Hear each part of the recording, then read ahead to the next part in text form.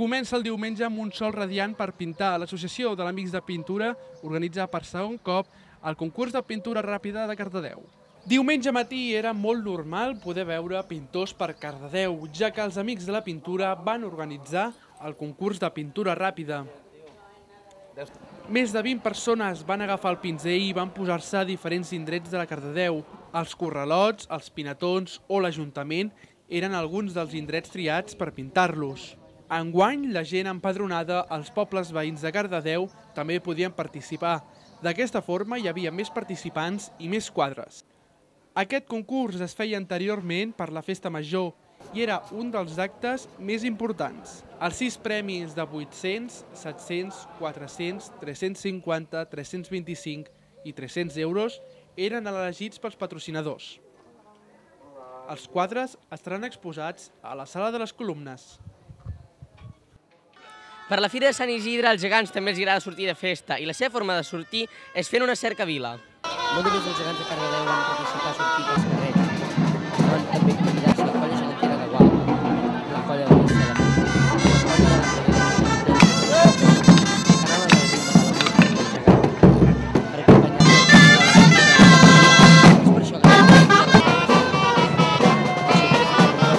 de tampoc s'obliden, perquè també els agrada participar en la festa es cansa fer qualsevol cosa, incloses algunes malifetes.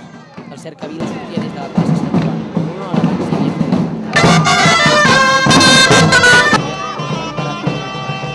Van seguir el seu recorregut fins a arribar a la plaça Antonieta Fontova, on va acabar el cercavila amb els balls dels gegants.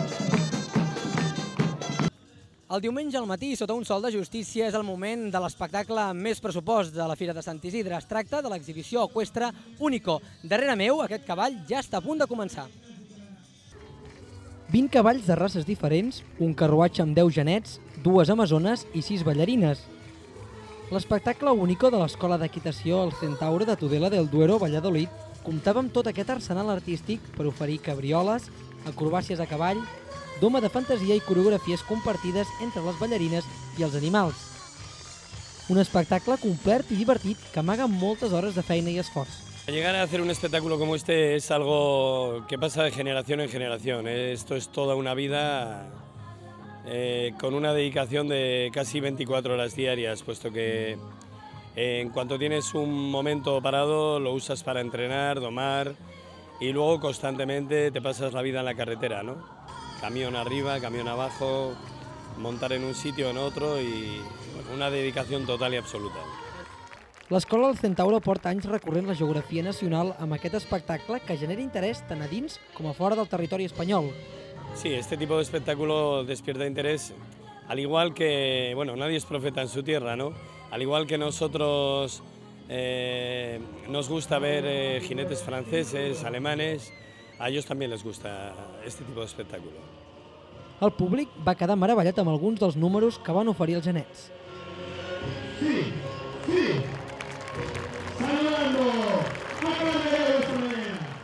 Una afluència de públic excel·lent per l'espectacle més car de la Fira de Sant Isidre d'enguany.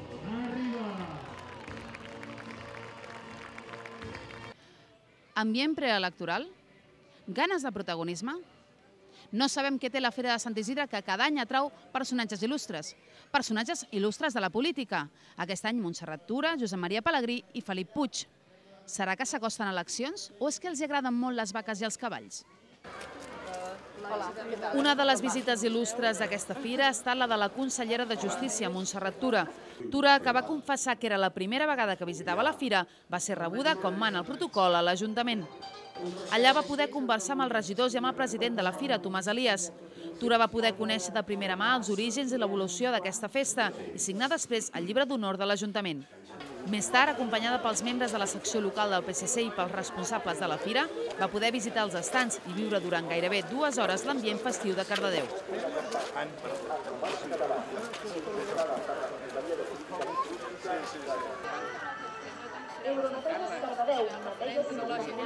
Des de Convergència i Unió també han arribat fins a Cardedeu polítics de renom de la política catalana.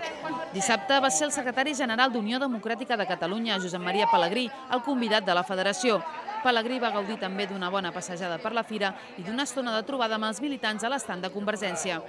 També ens va voler donar les seves impressions sobre la Fira de Sant Isidre. És molt interessant i molt important veure també com la gent de Cardedeu, els habitants i l'Ajuntament també sobretot doncs estan donant suport a aquesta economia productiva per intentar que això sigui un element de revitalització i d'increment del que és l'economia del nostre país. No?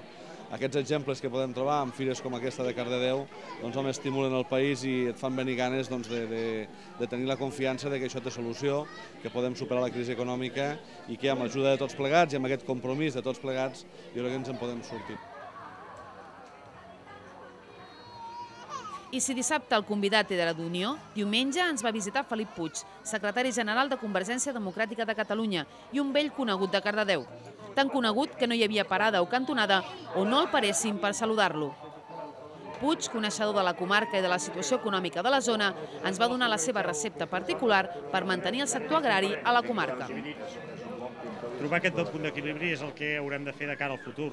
S'ha de revisar la política agrària comuna, hem de destinar els recursos necessaris doncs, a, a mantenir aquest eh, desenvolupament sostenible i el desenvolupament rural doncs, d'aquestes doncs, instal·lacions i a facilitar que la pressió urbanística, la pressió humanitzadora que representa les ciutats doncs, pugui fer compatible el respecte doncs, a aquestes activitats tradicionals. I per tant doncs, l'aposta per la ramaderia crec a més que és també doncs, una aposta de reforçament de la identitat i del caràcter col·lectiu i identitari d'un poble. Que abans la gent feia... Diu, jo penso que sí, il·lusiona, il·lusiona, sí, no, és veritat.